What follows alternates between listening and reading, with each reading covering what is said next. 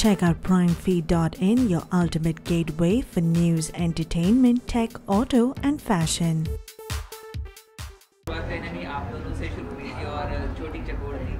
और आज हज़ार एपिसोड पूरे हुए क्या Uh, बहुत ही नॉस्टैल्जिक जर्नी रही है बिकॉज़ एज यू सेड हम पहले दिन से उड़ान के लिए शूट कर रहे हैं लिटरली फ़र्स्ट डे जब चकोर पेट में थी मेरे एंड uh, तब से ये जर्नी शुरू हुई है uh,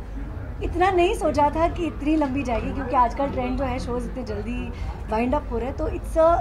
it's a very very great thing for us कि शो सिर्फ़ चला ही नहीं है, बल्कि लोगों ने इतना सराहाया है people have love the show so I think we are very thankful to God and to the audience for loving the show for loving Udaan and the leap also work so very happy thank you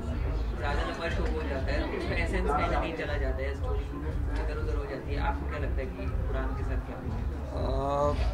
हाँ ये बात ठीक है कि essence चला जाता है लेकिन जब तक ऑडियंस आपके शो को प्यार करती रहती है तब तक कहानी ईजाद की जाती है और नए नए कैरेक्टर आते रहते हैं यंगस्टर जुड़ते रहते हैं और कहानी आगे बढ़ती रहती है। तो हमारी चकोर जो है पहले फाइटर थी अब और ज़्यादा फाइटर हो चुकी है। जैसे जैसे वो हम आगे बढ़ रहे हैं वैसे वैसे I think she is becoming a stronger character of course मुझे congratulation to whole Udaan team because सब लोग इतनी मेहनत करते हैं और uh, इतनी लंबी जर्नी तय की है तो डेफिनेटली ज़रूर शो के अंदर कुछ ना कुछ बात होगी इसलिए इतना लंबा सफ़र खींचा। और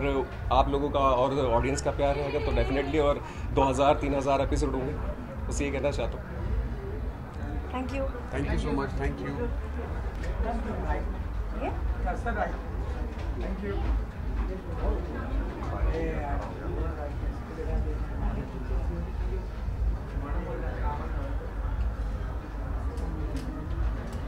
Thank you. Thank you thank you